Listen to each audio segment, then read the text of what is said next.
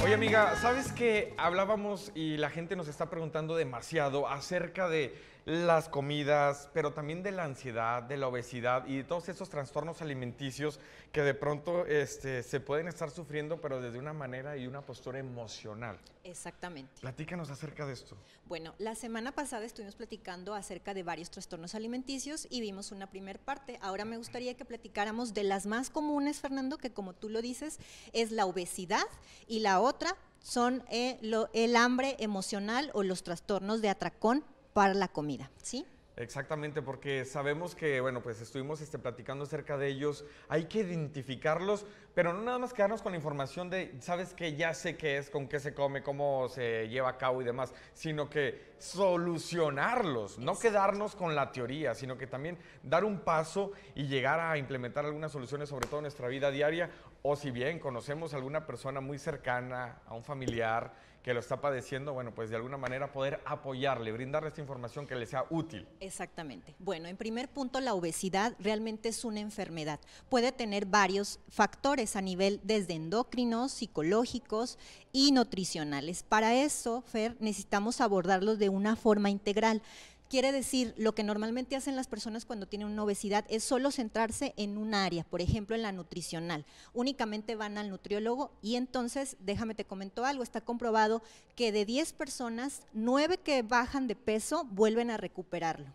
¿Qué es lo que se denomina como el rebote? Eh, puede también denominarse como el rebote. O sea, de 10 personas que hacen dieta, a lo mejor eh, bajan, pero 9 de ellas van a volver a recuperar ese peso. Entonces, es importante que aprendamos a trabajar la obesidad de una forma integral, no nada más enfocarnos en la parte nutricional, obviamente es el experto y nos puede ayudar a adquirir hábitos saludables, pero más que eso también tenemos que utilizar y trabajar la parte emocional que está llevándonos a tener esa obesidad. Oye, suena importante esto, esta información sobre todo porque decimos, estamos manejando a lo mejor una dieta y nos está yendo bien porque estamos viendo resultados. Y lógicamente pues el cuerpo dice, a ver, ya no estás inyectándole grasas, este, carbohidratos, entonces de alguna manera es obvio que vas a bajar de peso, pero aquí viene la otra parte donde dices, a ver, vamos a manejar las emociones, que es la siguiente imagen que les tenemos preparada, en donde dices, tu cuerpo, tu ser, tu psique empieza a manejar pues de alguna manera lo fisiológico y lo emocional para que puedas tener mejor evolución y que bueno, pues no existe este rebote denominado. Sí, bueno, en, este, en esta imagen lo que les comparto es lo que ya hemos platicado en anteriores sesiones y es que aprendamos a diferenciar entre un hambre fisiológica y el hambre emocional. El hambre emocional, eh, la semana pasada me preguntabas, es como cuando vamos con unos amigos de fiesta y salimos hacia los tacos, porque ni siquiera tenemos eh, a lo mejor mucha hambre, pero vamos y comemos los tacos.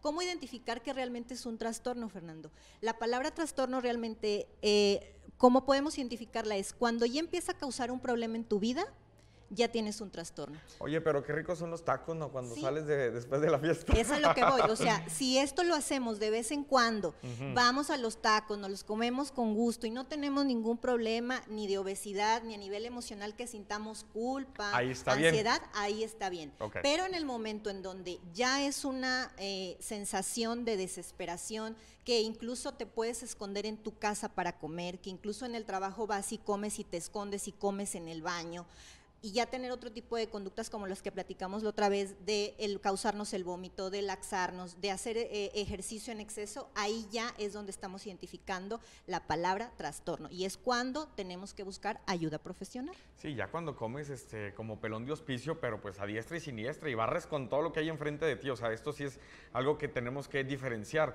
de cuando tenemos hambre o mucho apetito, pero también cuando dices, ¿sabes qué? Esto no es normal, o sea, me comí una orden de tacos, y eran de harina, y luego le entré al postre, y luego unas papas, y ta, ta, ta, y refresco de sabor o gaseosas.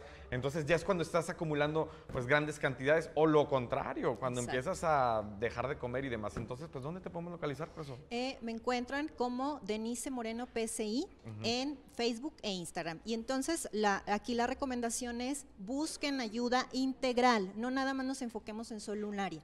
La psicología de la alimentación los puede ayudar a resolver este tipo de problemas. Excelente, me encantó. Con esto continuamos con más porque niñas, ¿qué nos tienen adelante del otro lado del estudio?